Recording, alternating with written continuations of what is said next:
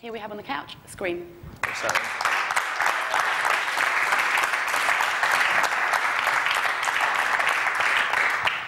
Right, so I thought it'd be pretty good if we start at the very beginning. beginning. Start from the beginning. So, what was the music that kind of uh, got you into it? Uh, underground garage, really. Just the sort of, just more darker two-step sort of stuff, like El-B's, artworks. If anyone who listens to garage, you'll know what I'm talking about. If you don't, I'll play something in a minute. But uh, yeah, just started DJing really at like 11. Just, and then wanted to take it to the next level of like, there weren't enough stuff what I wanted, and it wasn't as dark as I wanted it to be. So I thought I'd just start making some stuff that's pretty dark. So, you just said that you started DJing when you were 11. Mm. So, where do you DJ when you're 11? In my bedroom.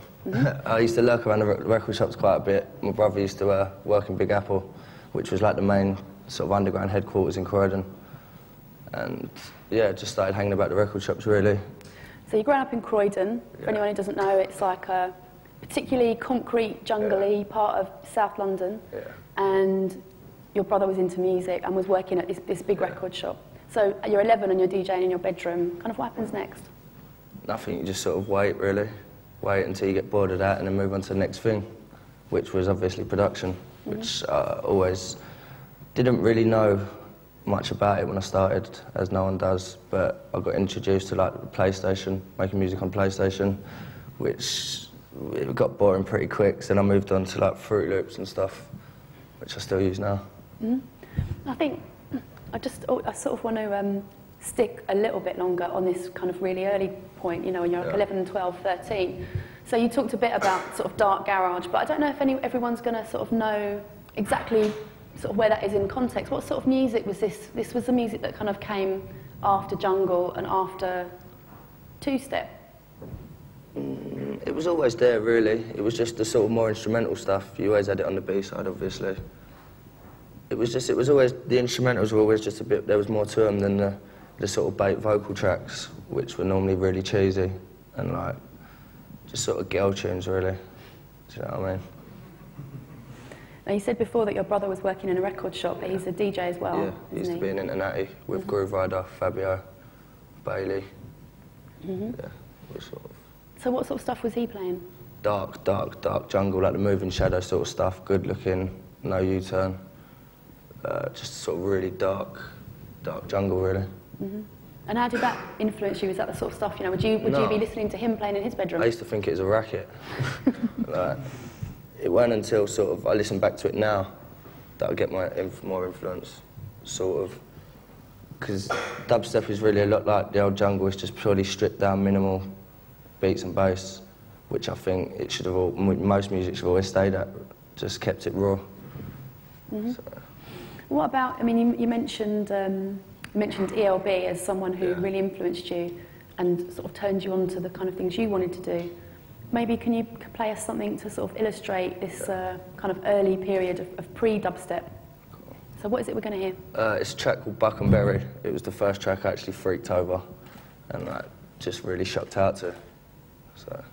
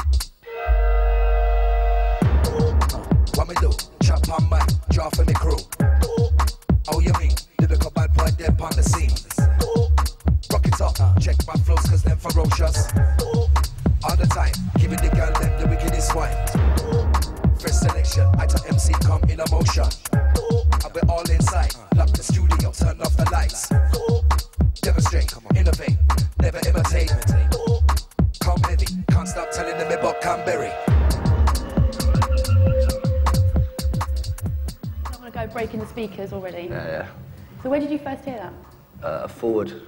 Forward, I think. Uh, El-B actually played it. Yeah, down forward. I used to go there when I was like 14, 15. Okay, so so for the uninitiated, Yeah, it was a, it's a club night in London which basically just fo- uh, focused on underground music as a whole. Uh, people who run it was like people who run Tempa, which is the main dubstep label, which I'm signed to. And yeah, it was just a place where you went to hear. It was the people who wanted to hear underground. Who like you could go to the big clubs and just hear sort of waste music all night, just sort of cheesy vocals and two step. But then yeah, it was that was the place to go for underground. So you're like what? Do you say 13 or 14, no, no, I was 15? going out when I say 15. Okay, yeah. so you're 15. Um, you know, what, what was what was it like then? It was still coming from the garage thing, like still the sort of champagne sort of, you know what I mean, shirts, jeans. But it was like, then the train spotters started getting in, the journalists, and then it all started, then garage started dying, and then forward was sort of a place for, it was mainly man, men, man music. Connecting with masculine Yeah, side, yeah, yeah, yeah. Someone said. But um, yeah, for ages it was just it, it was just sort of never big crowds for quite for a few years. It was just sort of just the heads who wanted to hear it. See, it's funny you should say that really, because I, I remember um, someone saying that there was a theory about clubs. Clubs are either about the music, they're about pulling, or they're about drugs. And it sounds like the whole scene is very much like the other things might be about it as well, but essentially it's kind of about the music and hearing it in the, in the best way possible. Yeah. Which man? Yeah, well, Yeah. that's just the point. Well, how come?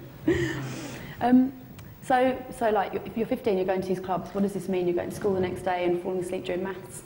Yeah, pretty Yeah? much, pretty much. Yeah. I didn't weren't really a great school lover. I think music was the only route I possibly could have taken. Hmm. And so, how did that start moving into? Because by the time you were going to forward, your, your tunes were already being played, weren't they? Well, not not the first forwards. It was like it was a little while. I had to sort of try and get to a bar, mm-hmm. and yeah, Hatcha just Hatcha all worked in Big Apple. If anyone knows about dubstep, Hatcha was like the pioneer, the only person playing it, like the first sort of DJ playing dubs in garage. Well, not in garage. Yeah, I suppose so in mm-hmm. garage. So So let's again, let's just sort of fill in the gaps here. So you started DJing in your room, kind of got quite good at that. Started making music on the PlayStation, and then well, I was it wasn't PlayStation for too long. I got really and then bored. got Yeah. Fruity Loops and Yeah. started kind of like mucking about with Yeah. that and making stuff. So how long did it take you to get to a point where you made something where you felt it was kind of good enough to show someone or or after about to a, after about a year, about 11 months to a year. Mm-hmm. Because it wasn't the, it wasn't the greatest production, but it was different. It was sort of it was what Hatcha wanted really. So So, like you say, you spent a year kind of getting into it. Like, how how much time would you be spending making music?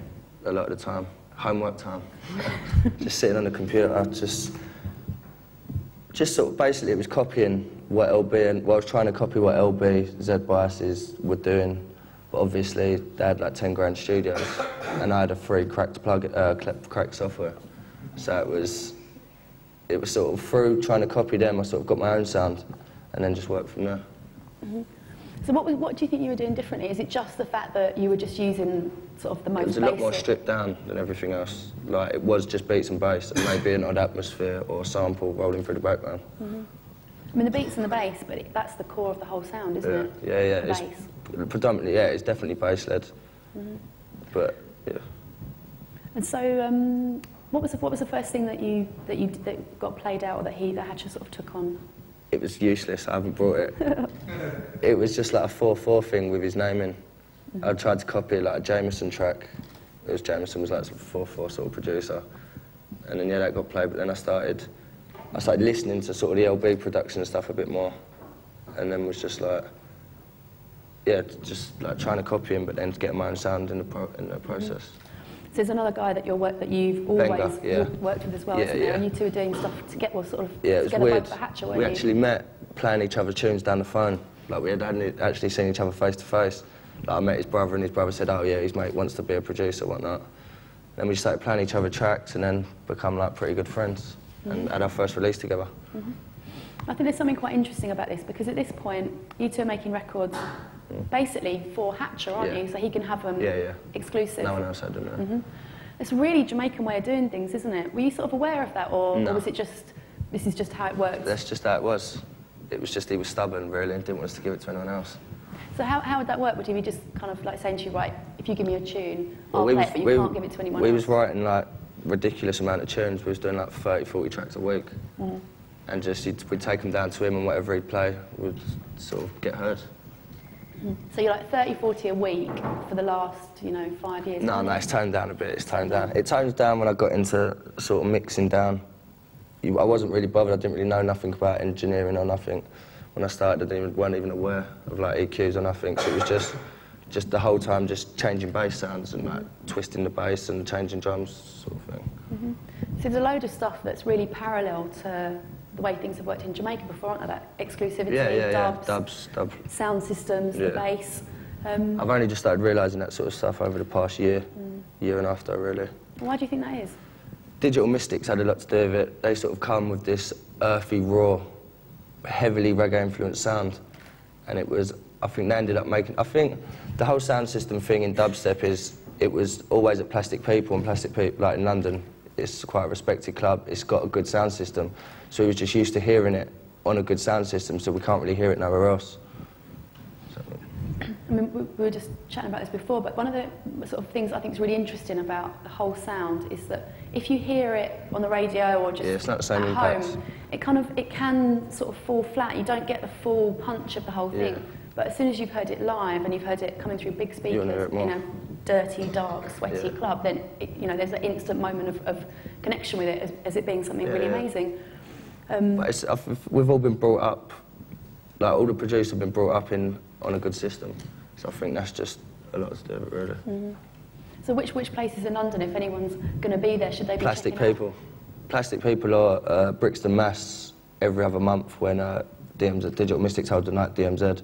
It's if you're ever in London, you've got to make it down there because if you haven't really experienced dubstep, that's the place to experience it. Either Plastic People or Mass, yeah.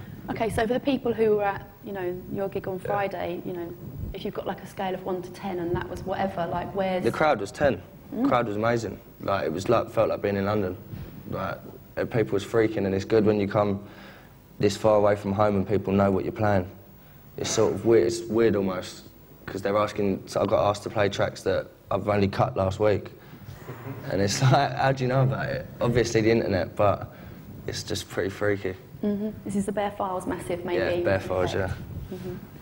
Um, yeah, on Friday you got handed a pair of boxing gloves, I noticed. What was that all about? Random. Completely random. It freaked me out a bit as it goes. I weren't sure whether he wanted to fight me or what. But uh, I thought it was something like an Australian thing. Maybe like it was just something really special and important he had and he was trying to show you a lot of love by giving you some kind of weird looking boxing gloves. I think that's, that's a mystery that's never going to be solved. Whatever floats your boat, I guess. Um, yeah, so, so the clubs that we're talking about in London, Forwards, DMZ, um, are they kind of like Croft Institute for the people that haven't been there or maybe aren't going to be there? You know, what are they Dark. like It's similar like dark, like not really much lighting, not really no no visuals because it's just basically there to concentrate on the music. Mm-hmm. It's, you don't need. I think visuals and that are just sort of something to hide a bad sound system or something, something to cover something else up. Mm-hmm. So basically, I mean, it, like it's there in the music and it's there in the clubs and it's there in the, the presentation. It's, it's all about the basics, isn't it? The whole Yeah. sound. It's about stripping out everything you don't need. So the clubs are dark, sweaty, smoke holes Yeah. with one light but massive speakers. And the music similarly, like everything that doesn't need to be in there Yeah, is it's not taken out. Yeah, but it's, it's the way it should be. Like overcrowded music is, it's not always nice to the ears, is it? Like, Well, let's, let's hear a couple of things that you've done. There were two tracks you were talking about earlier that have both got a big, heavy sort of dub influence. yeah, this We're one's talking about sound systems. track so- called Irie. It was uh, when I first started sort of getting sort of into the sort of reg, like listening to a lot more dub sort of stuff. So, No breaking the speakers. yeah.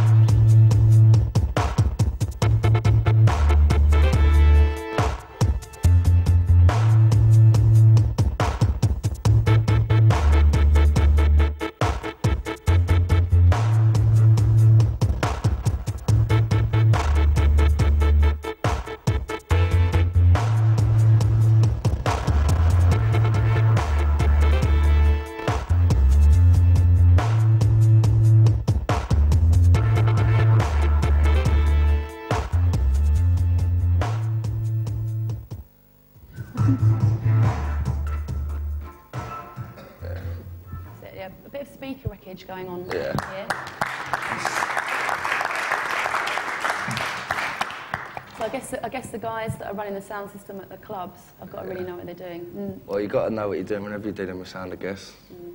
Obviously, um, that sounded wrong. that sounded wrong. What I'm saying is there's, there's a, a, that whole massive culture around speakers and sound systems and making sure that everything's properly on point.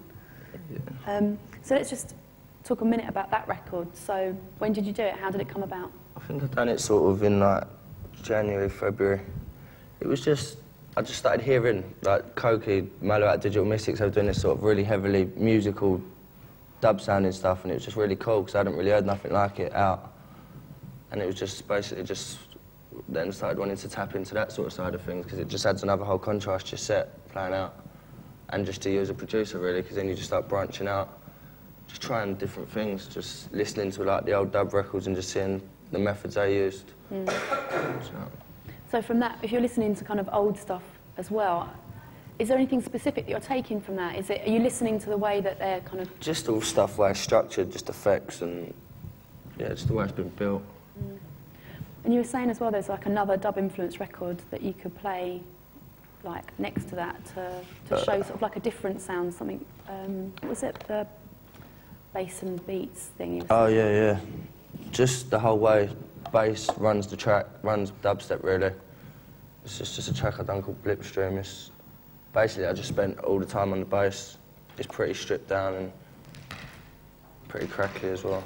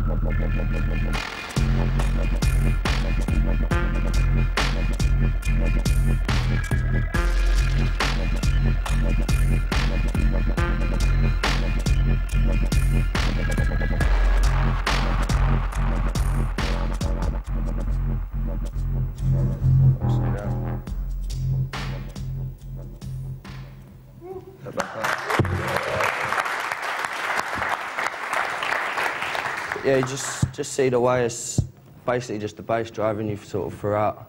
It's like just a little sort of hook around it, just to keep your mind going, I guess. And When, when, did, uh, when did that come out? When, not That come out on Vine. did you do it? Oh, uh, March, April. Yes. I think there's something about the, the sound that's really, like when you're hearing it out loud, it's really, it's very The bass heavy. actually grabs you and sort of takes you. But it's heavy in a very physical way because I think, especially for some of the people, talking to people who were there on Friday who hadn't really heard it before, quite shocked by the, the sort of impact. Because it's not often you go out and you're kind of physically kind of um, pulled somewhere by a sound. Is that something like, say, is that something that brought you into it, or is that just the way you feel when you're out and you're hearing it? Or making It's just it? that feeling, the feeling of the bass rattling in your chest and sort of in your throat that you're just like, yeah, fucking that. up here in your nose. Yeah. It just, it's just like, yeah, it just feels cool. Oh, there, was, there was a funny comment off uh, just some forum somewhere where someone was saying, I've never heard a music which rattles your ribcage and makes you feel over the moon at the same time, which I thought was uh, like quite a funny way of, of looking at it. Um, so we talked about bass, we talked a bit about how you started DJing and how you started making music. Where does pirate radio come into the story? Well, pirate radio is big for any underground music, really. It's like the, it's where you hear the new music, and it's, it was just, yeah, it's just like all kids at school. That's where you, if you want to be the cool sort of people, music people, you listen to pirate radio because it's the sort of freshness. Mm-hmm. So we don't, I'm not, not all countries have that culture, but in, in It's always been a big thing in London. Like, in Britain and in London in has been. particular, there's Yeah. pirate radios everywhere, aren't there? And they spring up, and you can't. They're unstoppable. They're kind of like you try and people, the authorities try and bosh them down, and a new one will pop up somewhere Yeah. else. But I suppose because there's always so much music and so many people kind of inventing their own scenes that that's always expressed through pirate radio. What, what was the first pirate station you played on? Uh, Flight FM, which was just a sort of, just in the back of some scrapyard really. You just have to climb for about three metal fences to get to it. It's pretty pointless really. Like, of, like it was, yeah. Then then I ended up on Rinse, which is really shouldn't be pirate. It should be legal because it's been going strong for like 10 years and it's always been playing the cream of what people want to hear, which I think a lot of radio stations don't do that. You might have like a station that plays one hour, two till three in the morning of music that people actually want to hear. Mm-hmm. How, how did you get your first pirate gig? How did that happen?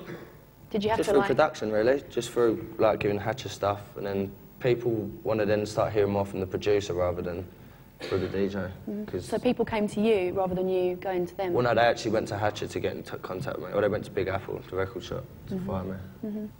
And then what about rinse? Because like playing on pirate station, it's not like playing on a legal station, isn't it? It's not like you go to the studio and there's some guy on security checking who you are and you know inviting you up and want, seeing if you want a cup of tea. What's it like to play on a pirate radio station in London? Well, the first few times you always do it, it's nervous, like just nerve wracking because you think DTI are going to burst in and take your records off you. This is the Department of Yeah. Trade and Industry. basically, you've always got that thought they will take, they come and take your records off you, they take everything that's in the building. And that's pretty sort of a fright, frightening feeling because your records your life, I think. It's sort of how you express yourself. So, but yeah, radio station is pretty mad. I remember going, once Rinse was in, you used to go to the top of these like dirty tower block flats and the actual studio was in a box in the wall. So you walked into the room and then got in, sort of got into the wall and it was sort of like six foot high. I used to have to like crouch down in there. And like you'd have like four or five people just sweating it out, all just to play some tunes on radio. It's just like, yeah, it's pretty like dedicated really. it's to come out stinking. So like, so okay, so at this point, rinse is sort of, uh, you have to go up to the bottom, you know, go find some room in the tower block, and then there's just a hole in the wall. Well, no, that was, uh, sorry, that was a one-off. That was like, yeah, that was a one-off. Mm-hmm. Normally it'd just be someone's kitchen or some sort of crack flat somewhere or something. Mm-hmm. So you've got kitchens, crack flats, holes in the Yeah, wall. it's, pretty, it's not really It's inviting. yeah, it weren't really nice going places when you're like 15. Mm. It's just sort of places you didn't want to be, but you had to be to get your stuff heard, I guess. Mm-hmm. And what's the, what, what's the vibe like when you're in there and you're on air? The first sort of few months is just pure nervousness, because then you sort of you get there and think, ah, this is nothing. It's like being in your bedroom, but then you sort of realise how many people are listening, and it's like, right, I've got to talk now. I've never talked like on radio, and it's like then you just keep thinking about how you sound, how you mix in. So say you do a dodgy mix, you're like, ah, then you're not really in it no more. So it's, it, yeah, it's just pretty nerve-wracking first of all, but now it's, it just comes natural, really. So, so tell us about your, tell us about rinse now. Rinse now is good. It's basically it's trying to go legal, so it's stopped the FM. It's just uh, just doing internet, which is pretty cool because now you can get all the SMS, uh, all the email and sort of SMS, which is cool. Because uh, now like people, you can hear me out here, which is a big step. Like I'll get texts from like Ukraine and like texts from Portugal, like all over the place, which is really good. It's like amazing sort of feeling because you can't do that with a legal station in England because it only reaches England. So.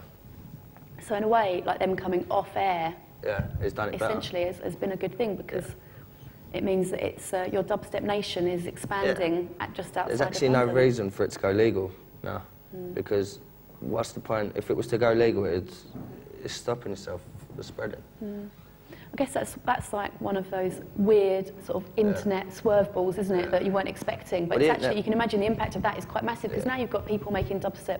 You know, Yeah. you're just saying on the way up here, there's people making tunes in America, and yeah, everywhere. There's, there's a big sort of scene for it in America now. Loads of good producers as well. You got uh, like a guy called Lexus and Drop the Lime, who I think was in Brisbane Saturday. Was playing in Brisbane Saturday, which was pretty weird. Mm-hmm. So yeah, it's cool. It's it's pretty mad how the sound's spreaded. Not that it's it's happened quickly because it's been in London for like say five or six years, but the impact since January when we done the Radio One show. Mm-hmm.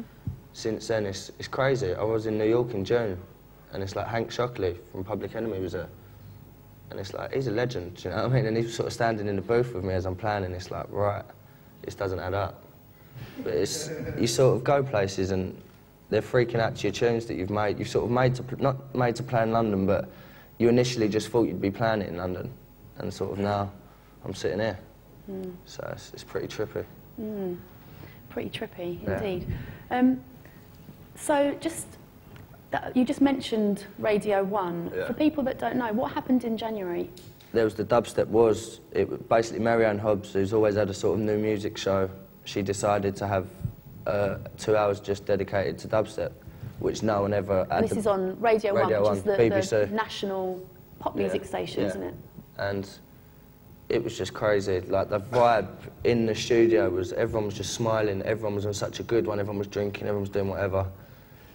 It was just, it was, it was surreal. Like we were all running about the Radio One studio, like Zane Lowe, who's like a pretty big DJ, was like just walking past us, and it's like, it, it still seems surreal now. I listen back to the, to the whole show, and I still get the tingles up, like, up my spine. It's, it's mad because since then it's, it's just gone old, just gone up.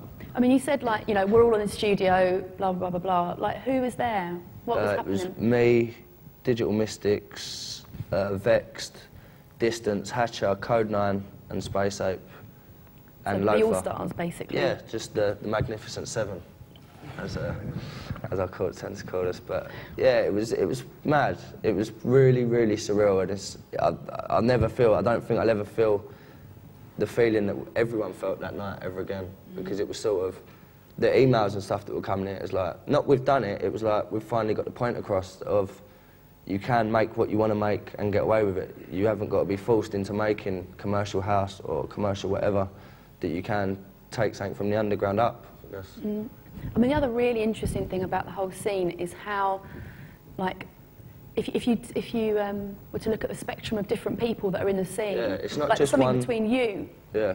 and Burial, for Yeah, it's example, totally different. like unbelievably It's, different. it's contrasted. It's not. I think that's what people like because it's not. It's all dubstep, but there's so much variety. You've got sort of Vex'd and Distance, who makes sort of more drum and bass influence. You've got Burial, who I'm not sure what he's inspired by, but he's heavy. Like it's pretty, pretty mad production. You've got Kode Nine, who's really sort of laid back, chilled out sort of production. You've got Digital Mystikz. Well, between three of them, they've got sort of it all covered. You've got Loefah, who's more beats based. You've got Mallory, who's pure spiritual, and then you've got Coki, who's just ill. Coki, who's just ill. Coki who's just mm-hmm. ill. Like every track you listen to by Coki, it's just like, like you just the bass just takes you away. There was um, something that Burial said.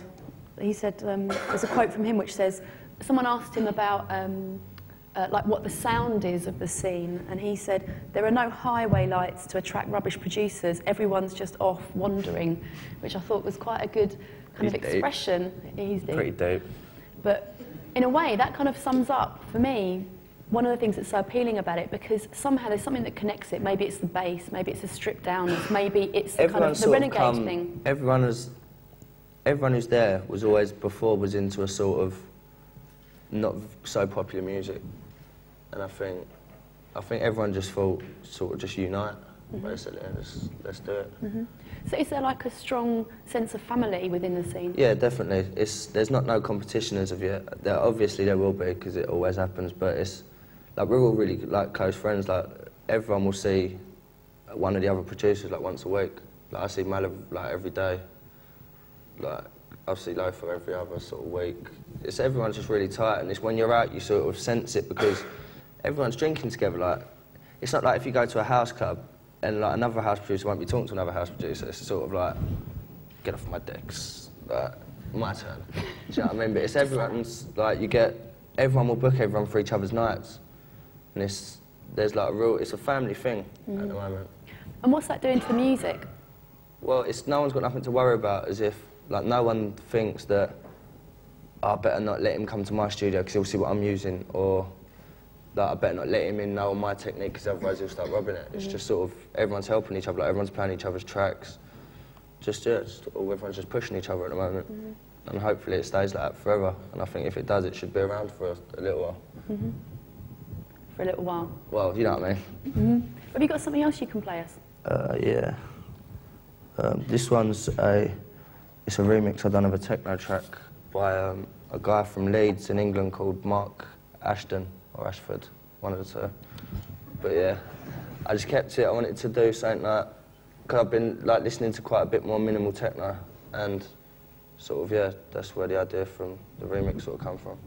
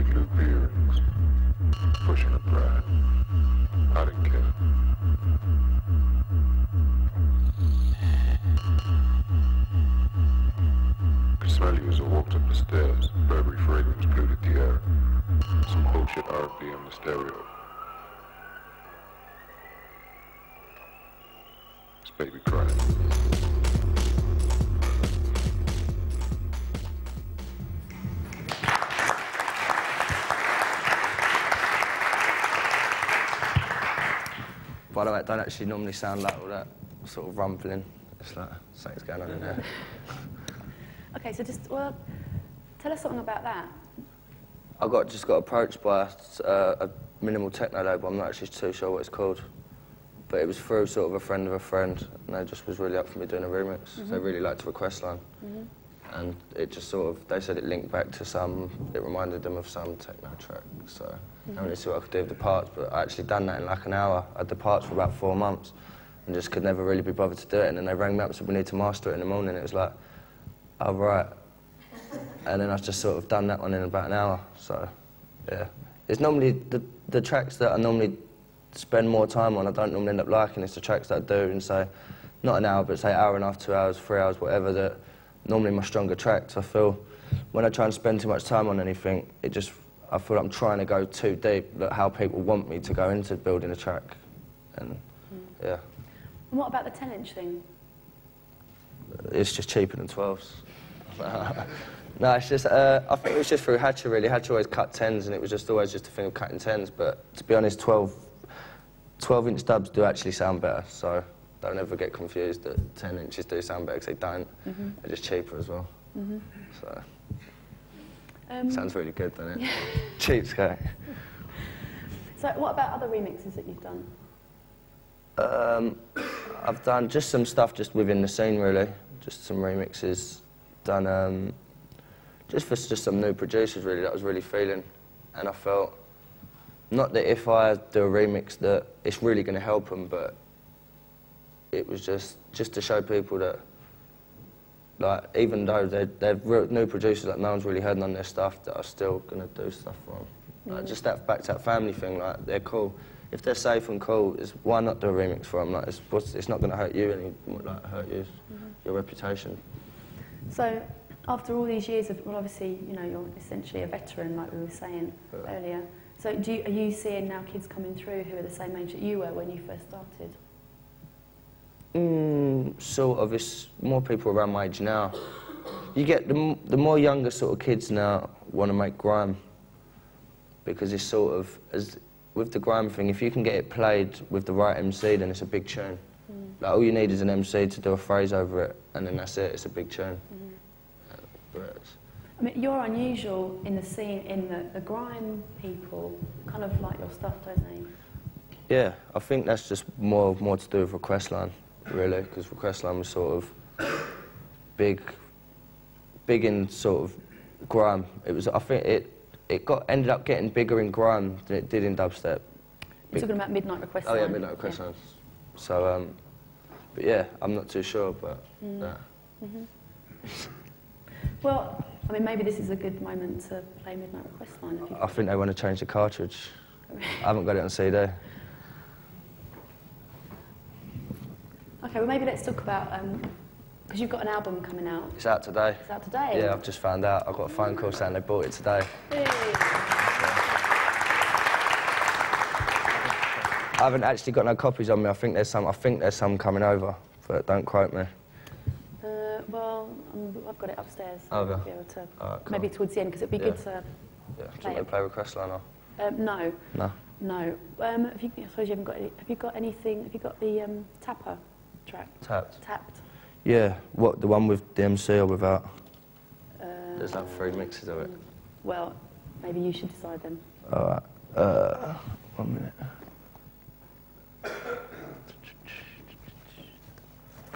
This is one with a.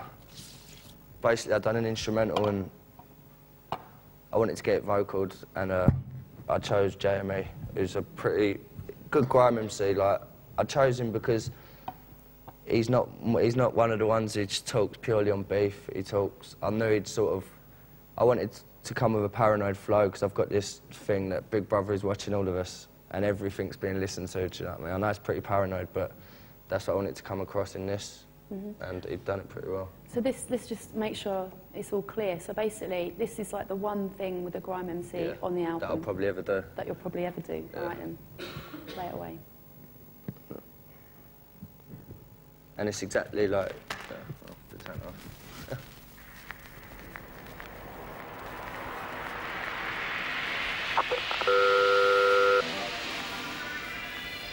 JME. JME. JME. JME. 21st century technology. Mobile phones, internet. It's not safe anymore. Big brother's watching. The phones get tapped. Serious, serious. In fact, sometimes I think back. Some days I felt trapped. My line's been tapped. My line's been tapped. tapped. Sometimes I think back. Serious. Some days I felt trapped. trapped. My line's been tapped. Serious. In fact, sometimes I think back. Some days I felt trapped. My line's been tapped. My line's been tapped. Tapped. Sometimes I think back. Serious. Some days I felt trapped. trapped. My line's been tapped. Serious. Answer my phone. Yeah, who's that? Hello? Ain't you gonna chat? I can't hear nothing. I've got a full battery and reception blood holler back.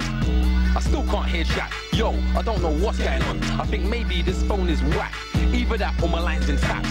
In fact, sometimes I think back. Some days I felt trapped. My line's been tapped. My line's been tapped. Tapped. Sometimes I think back. Some days I felt trapped. trapped. My life's been tapped. It's like the Matrix, the system we're trapped in. I'll tell you, but you won't ever listen until the day when you get attacked. And some of your property goes missing. Feds on road, they use police tactics to cut off the man them on a mission. If they ever got your phone and they tapped it, serious, you know that you're trapped in.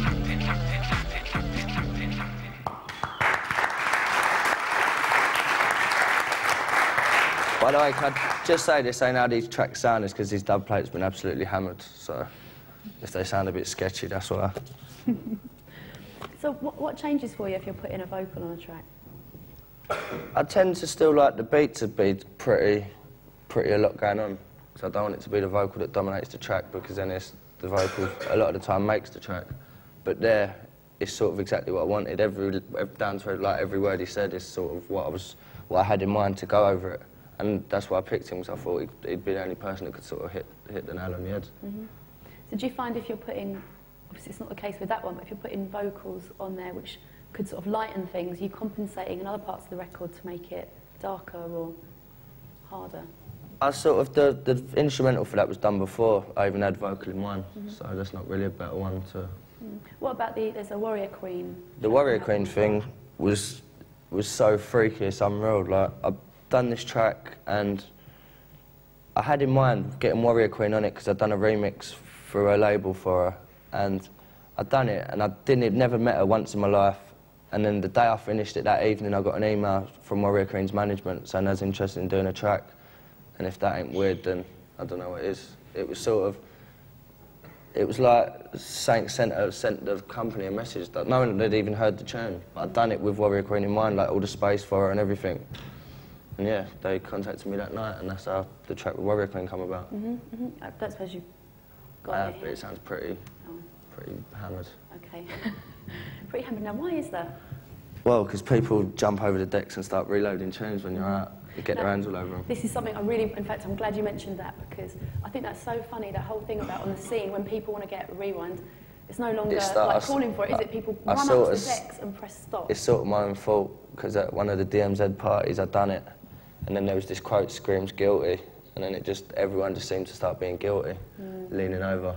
But it can get it can get pretty annoying because it's like you're sort of trying to play, so you've only got an hour set, and people keep leaning over and stopping it. It's like I've got more than enough to play, so it's it sometimes gets pretty annoying, and then you always get one person who keeps doing it and keeps doing it, and it's like go away.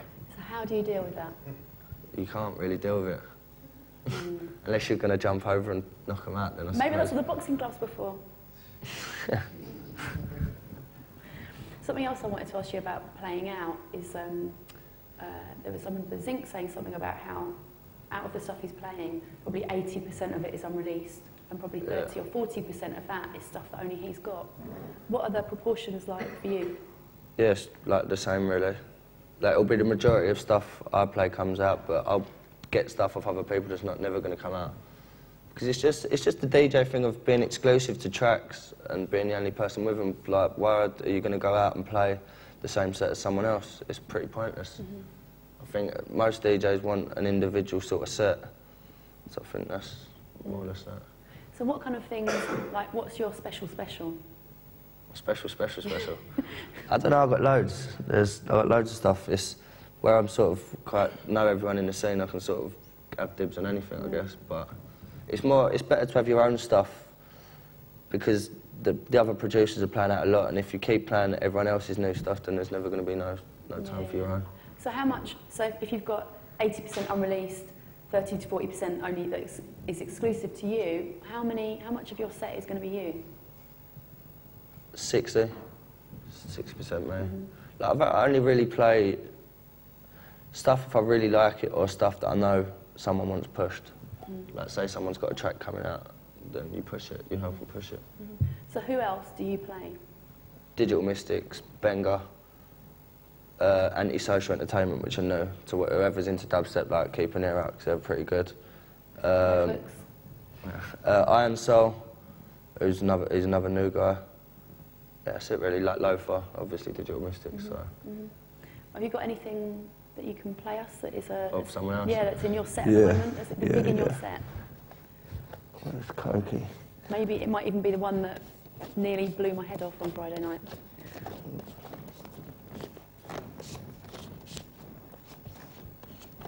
Where is it?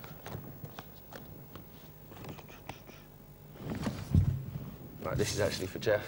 Uh,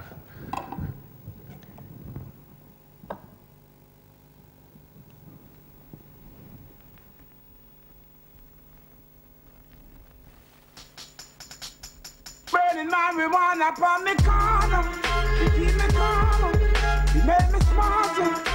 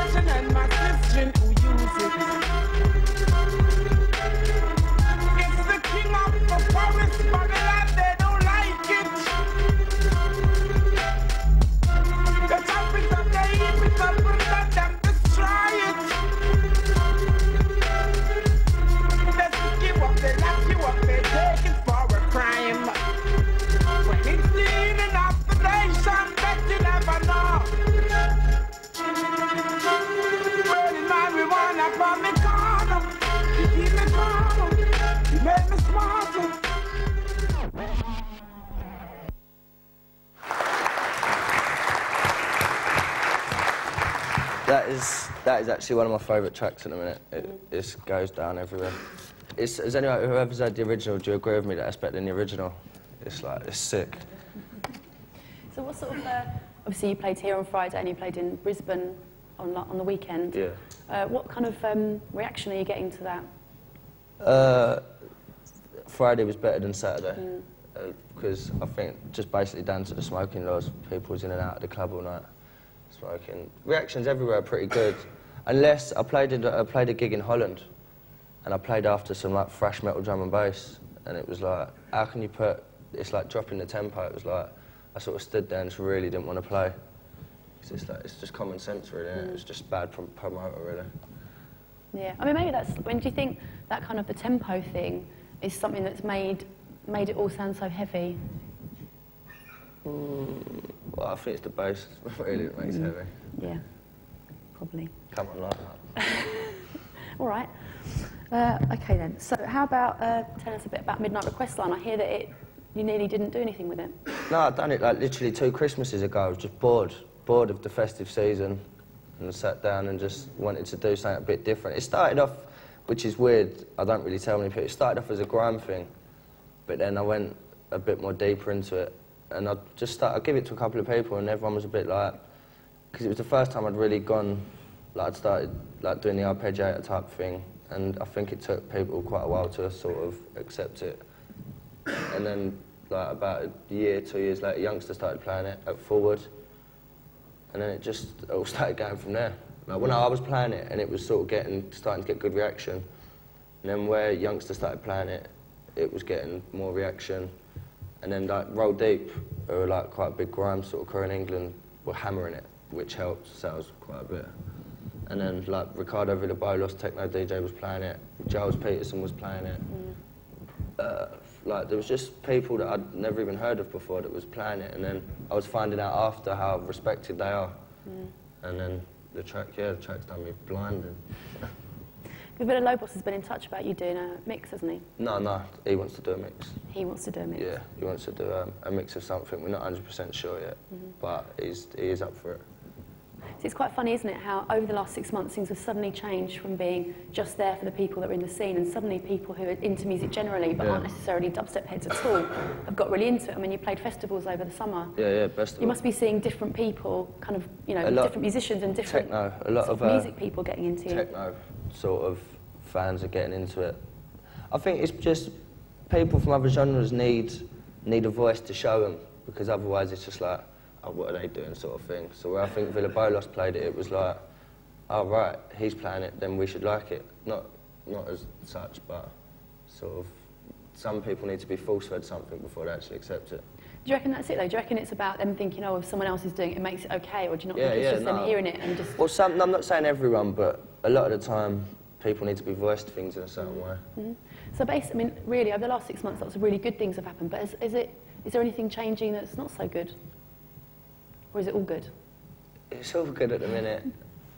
Like, the only thing, some of the press are getting some things really wrong, and like I keep trying to look for some somewhere to put it that's not actually there. Like, everyone always assumes there's a deeper feeling behind something when there's not. Mm. It's like you get this like four-page essay on a track. It's like, oh yeah, they was thinking this. It's like, no, we weren't. Just like you just write the tunes. Some of the press like is is sort of ruining some things. Mm. So basically, don't think about it too much. Yeah, don't think about it too much. Just just listen. And what about some of the other sort of influences to the sounds we've talked about, Dub? What about, and we sort of talked about two-step a little bit and the dark garage thing, but is there anything else that, that has been influential that would be Uh, worth mentioning? I listen, yeah, I listen to a lot of funk, soul, like a lot of disco. I love disco. I've been listening to a lot of sort of like gold rap, who are sort of, I don't know what to class them as, but I've been listening to like a lot of Hot Chip, like Hot Chip, they're a new band from New York, who are pretty cool. And like they're different, they're really different. They use like sort of weird sounds that you wouldn't hear nowhere else used, but they put them off really well. So it's, yeah, I've just been listening to like, quite a lot of different stuff. Mhm. And is that all feeding into, like, if you get into stuff like that, does that feed in directly into what you're doing? Sort of. It's not that you just you start to look at things in different ways, and then you start to look at your own music in a different way and think, is someone going to listen to this in ten years like I'm listening to stuff now? Mm-hmm. But like what? Can you give us, like, is there a, a sort of concrete example of a way that something, you, you sort of It's discovered something, just and then it's fed in? No, something just influenced, like as most of you know, like just bit through making music, you just get, you just sort of, you just take the music in, and you don't sort of go back and try and make a tune like that. You just try and make a tune that gives you the feeling that that track gave you, which is a pretty hard thing to do. Mm-hmm. Mm-hmm. Um, one other thing, we've talked a lot, sort of, for some reason, a couple of times about nicknames and how they've come up. Did someone give you your name, or No. did you do it? I used to write like tags, so that's just how that came about. And it was before the film was out, so if anyone thinks I got the name from the film, no, never. Um, so, what about just another, another, well, how about something new that other people aren't, have you got something new you can play us? Yeah. Oh, I can play the thing with Warrior Queen. Yeah. Well, this is off the album. It's, uh, this is the tune I didn't think I had that uh, was the weird one where they sort of got in contact with me after. To. No, nobody try touch mine. Some girl them nowadays them have a dirty habit. Say your mother live good and find him them one pitch. you can't get them off enough. I itch them itch. Check it. Sure. Now seek and you shall find out where the Bible tell. Me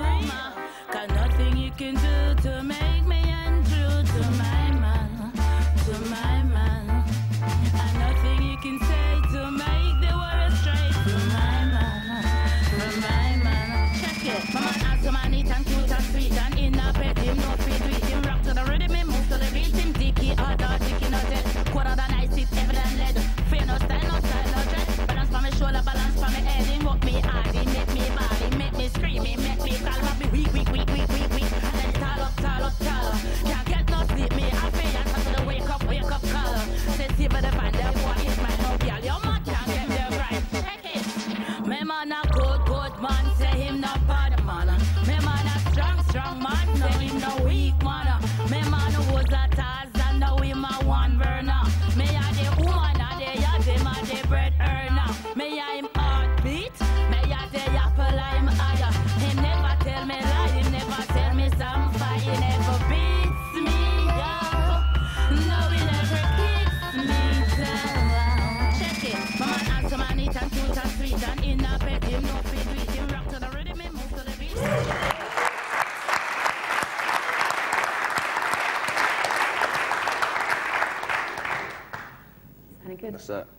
Also, I've done that because there seemed to be a lot more girls coming out and there weren't really nothing.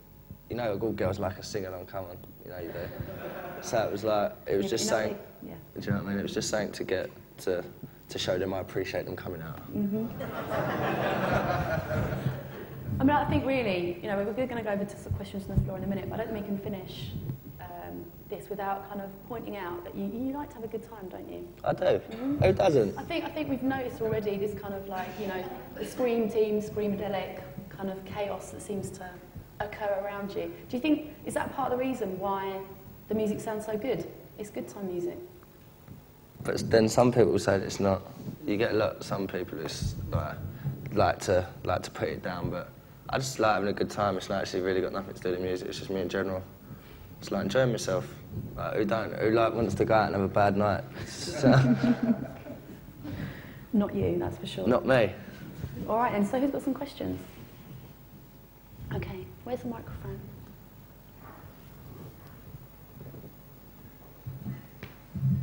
I've got a couple of questions. Yeah. Um, Firstly, who cuts your lines? Transition, transition mastering, very good. If anyone wants the address or anything, they can come and get it after. And um, also, I'm just uh, following on from that, I'm interested in that, uh, in the mastering process, the Yeah. visual to analog. To be honest, I'm not, I'm not fully, I wouldn't be able to fully explain all that side of it to you. Okay, I'm just the software boy. no worries. Anything else? No. No, cool. So wind you down the front here. Yeah, um, just want to say I heard the early music the first time, right? And, Yeah. it blew me away. It was really Cheers, man. Um, you're saying you using Fruity Loops? Yeah, FL Studio, Right. I just wondering. So all the songs you use are, are native songs to the, to the software, or you use external? yeah. No, no, I only use, I only use FL Studio, and like, so, like software plugins and stuff. Like, just anything, anything I can make a bass line on, really. So, I mean, like, the thing is, everyone's a bit prejudiced when it comes to Fruit Loops, because it's like, because it's so simple, people seem to have a problem with it. But why? If I can do in that what some people can do in Logic, then why not? It's like it's my little playground that I can I sort of it like the back of my hand. So why not? Do you know, I can do I can do the same in it what a lot of people can do in Cubase and Logic. But it, the only bad thing with Fruit Loops is it's not 24-bit, and I wish as soon as it's 24-bit, then I think that's Mac out the window for me. So. Yes, cool. Okay, any others? I've got a question at the back there. Are we down to one mic?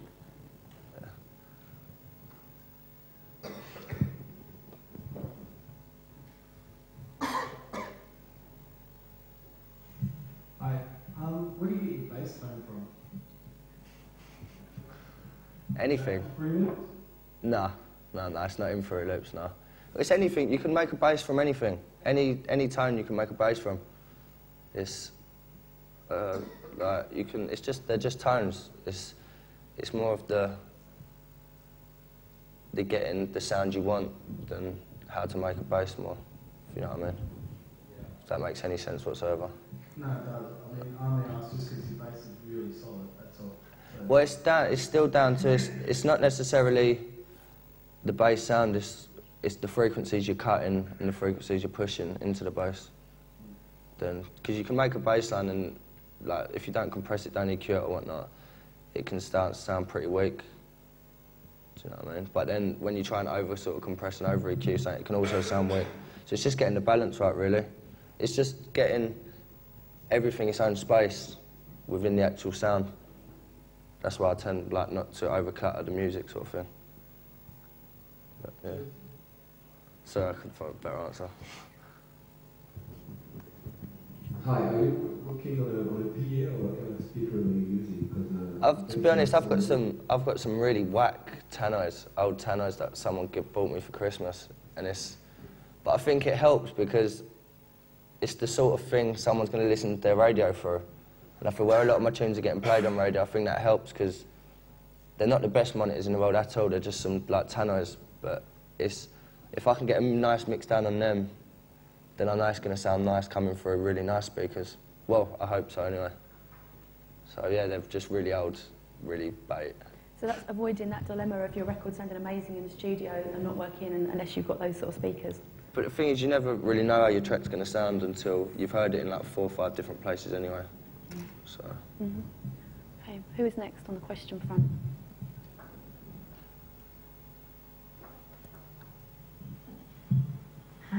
Hi. what's happening? Um, just wanted to touch a little bit more on the bass thing. Yeah. Um, if you're not using amazing speakers, um, and you're talking a little bit more about just boosting the harmonics, because that's what Yeah. we hear bass is Yeah. harmonics. Yeah, cool.